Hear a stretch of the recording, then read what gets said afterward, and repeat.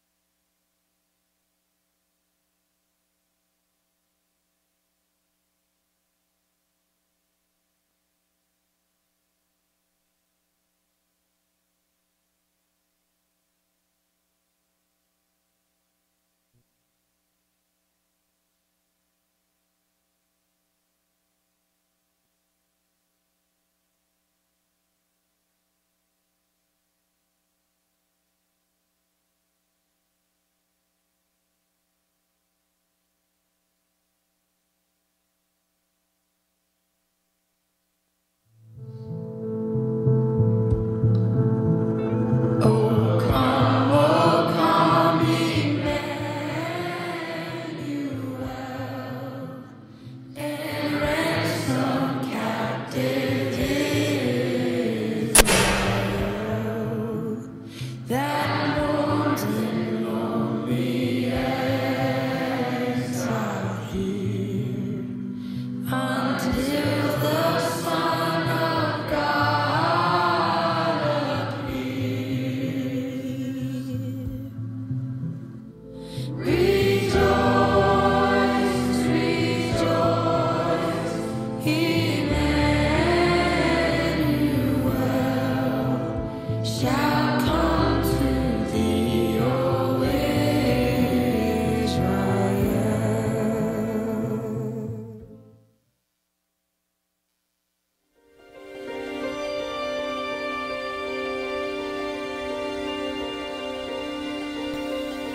A long time ago, in a city of Galilee named Nazareth, there lived a woman, and the woman's name was Mary. Mary was very kind and good, and she was also very special. One day, the angel Gabriel, who was sent by God, came to Mary and said, Do not be afraid, Mary, the Lord is with thee. Blessed art thou among women. Mary was troubled by the angel's greeting, but the angel said unto her, Fear not for thou hast found favor with God. And behold, thou shalt conceive in thy womb, and bring forth a son, and shall call his name Jesus. He shall be great, and shall be called the Son of the Highest, and of his kingdom there shall be no end.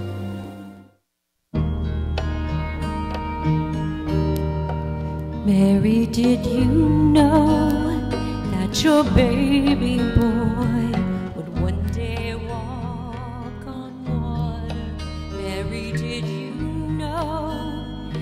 your baby boy would save our sons and daughters. Did you know that your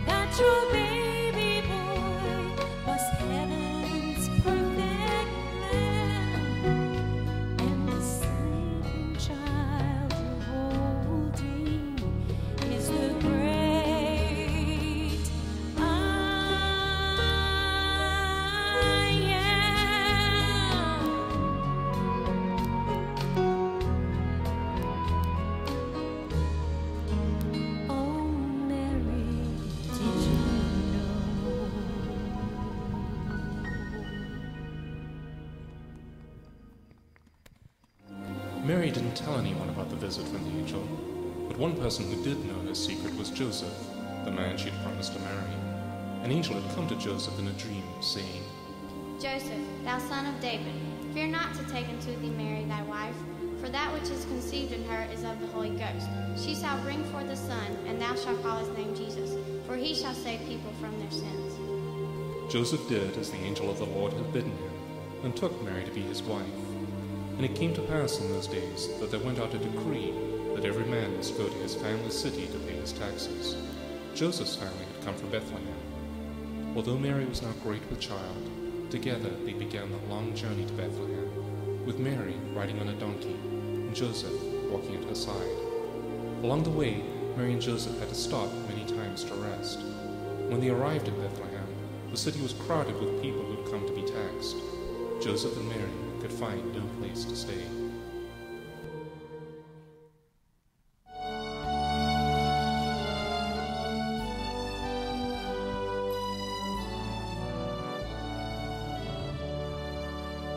A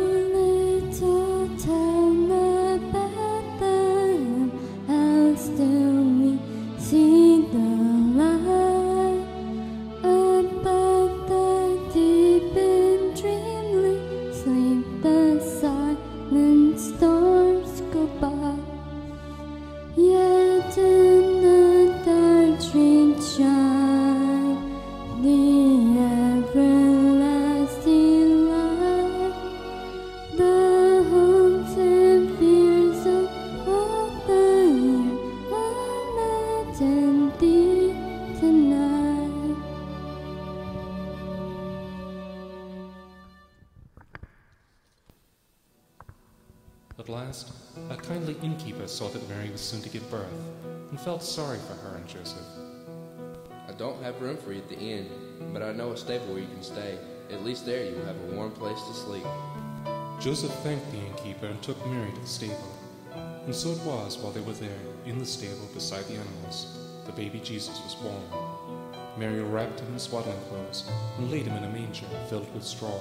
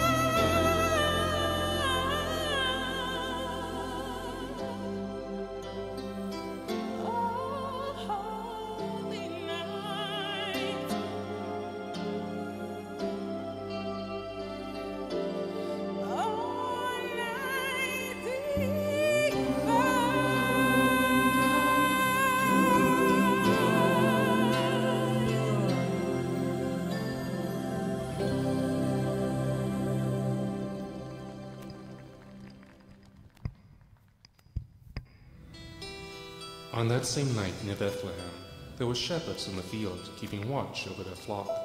And lo, the angel of the Lord came upon them, and the glory of the Lord shone round about them, and they were afraid.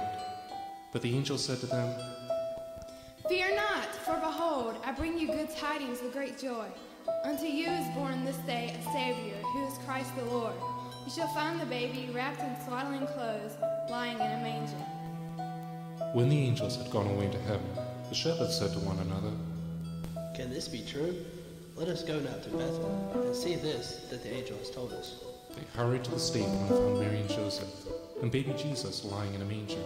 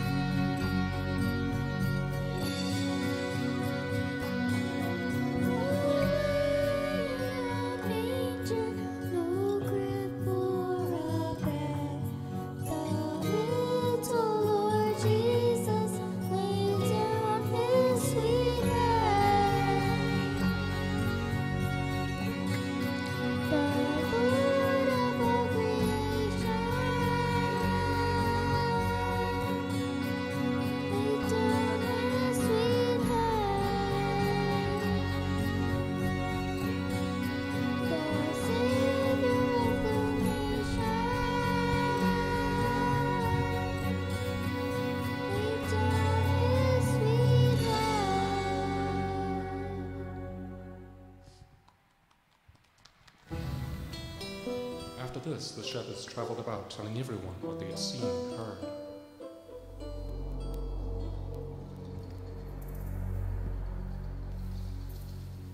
One night, behold, there came wise men from the east to Jerusalem, saying, Where is he that is born the King?